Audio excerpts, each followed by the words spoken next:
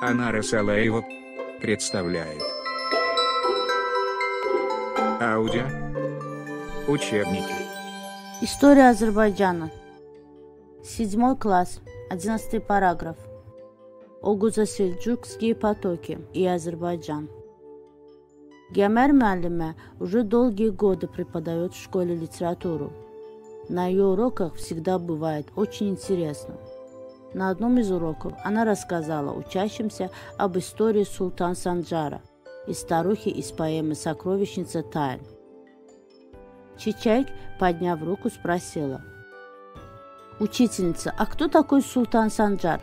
Султан Санджар был правителем Сельджурского государства, созданного тюркскими племенами. Она также коротко рассказала об их роли в истории Азербайджана. Какие сведения дала учительница Гямер о сельджуках? Кем были сельджукские тюрки? Какова была их роль в истории Азербайджана? Проведем исследование для поиска ответа на эти вопросы. Новые тюркские потоки в Азербайджан – с древних времен на территории Азербайджана проживали тюркские племена. Эта страна была родиной многих тюркских племен, в том числе и агузов. Период ослабления халифата в Азербайджане еще более усилился исламско-тюркский этнополитический фактор. В этот период был создан единый христианский блок, состоявший из Византийской империи, армянских и грузинских феодалов – Судьба борьбы против этого блока решалась на Азербайджанском фронте. После распада халифата основная роль в борьбе исламского мира против Византии принадлежала тюркам. Таким образом, в этой борьбе тюрки превратились в решающий военно-политический фактор. Азербайджан стал главным оплотом этого фактора. Долгое время различные тюркские племена старались обосноваться в Анатолии. Азербайджан же для этих племен был тылом. Сельджукские тюрки также избрали основной мишенью нападения византийские земли. Название этого племени было связано с именем Сельджук-бека. Основоположником же сельджукского государства был его внук Тогрулбек 1308-1063 годы. Внук Сельджукбека Чагрыбек отправился в разведывательный поход и одержал победу над византийскими войсками – Сельджуки захватили бассейн озера Ван.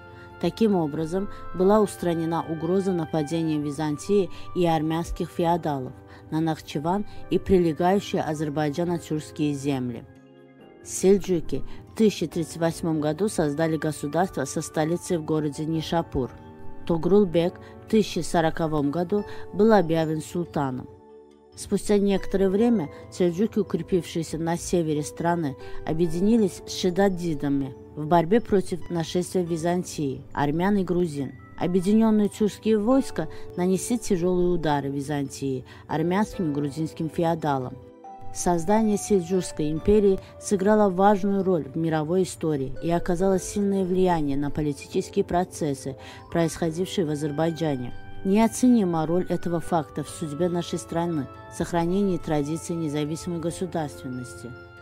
Южные провинции Азербайджана перешли под контроль сельджукского полководца Гасана. В 1048 году сельджусско-азербайджанские тюркские войска разгромили объединенные формирования византийцев, армянских и грузинских феодалов. Византия была вынуждена заключить мир с сельджуками – в 1054 году войска султана Тогрула подошли к Тебризу. Равадитский правитель заявил о своем подчинении сельджукскому султану. Султан Тогрул напал на Генджу. Правитель Шедадидов Абуляцвар Шавур также подчинился сельджукам. Оба правителя пришли к решению о совместной борьбе против Византии, армянских и грузинских захватчиков. Сельджукские тюрки также совершили поход на Ширван. Они здесь встретили серьезное сопротивление. В течение 12 лет ширваншахи оказывали им сопротивление. В 1066 году сельджуки с большим трудом смогли сломить сопротивление государства ширваншахов. Ширваншах Фарибурз был лишен титула ширваншаха. Таким образом, Азербайджан целиком вошел в состав Великой Сельджукской империи. Тюрок раскрыл объятия тюрку. В результате обоснования сельджуков в Азербайджане в страну хлынули новые потоки тюркских племен. Огузо-сельджукские тюрки за короткое время ассимилировались с древними азербайджанскими тюрками, с которыми имели единые корни и языковую общность. В результате сельджукских потоков огуско-тюркские племена стали основным этническим и политическим фактором на Южном Кавказе, в том числе в Азербайджане. Потоки сельджукских тюрок расстроили планы Византийской империи укрепиться на Южном Кавказе. Были предотвращены попытки армянских и грузинских захватчиков оккупировать западные территории нашей страны. Таким образом, провалились попытки распространить на всем Южном Кавказе влияние христианства. Сельджукские султаны стремились укрепить центральную власть. С этой целью они создали для себя военно-политические опоры. В обмен на военную службу на основе икта раздавали земли сельджукским эмирам. В результате в Азербайджане икта превратилась в основную форму земельной собственности. Это укрепляло военно-политическую власть сельджукских тюрок на землях, где они обосновались. Со временем земли Икта стали переходить в наследство и таким образом являлись наследуемой собственностью. Одной из форм земельной собственности, появившейся в период Великой Сельджукской империи, были земли Удж. Так назывались земли, которые дарились военачальникам, охранявшим границы Сельджукской империи.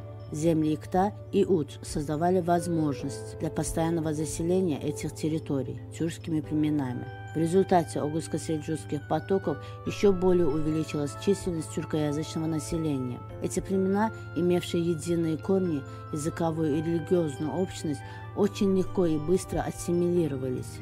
Таким образом, в результате огузо-сельджукских потоков завершился процесс формирования азербайджанского тюркского народа. Была полностью устранена угроза оккупации нашей Родины, Византийской империи и ее союзниками. Анара Салаева представляет. Аудио. Учебники